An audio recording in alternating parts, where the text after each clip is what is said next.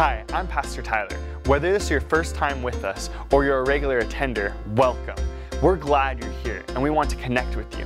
So please take a moment and fill out our connection card with as much information as you feel comfortable sharing. Please write legibly as it helps our team connect with you. On the back of this card is a prayer request form. If you have a prayer request, let us know simply drop it in the offering baskets as they go by.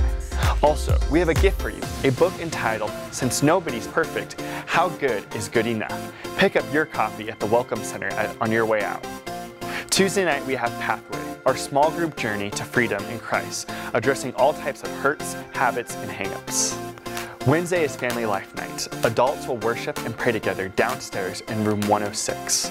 TCSM will meet in the sanctuary for our 7th through 12th grade students. There will be no Royal Rangers, missionettes, or nursery this week.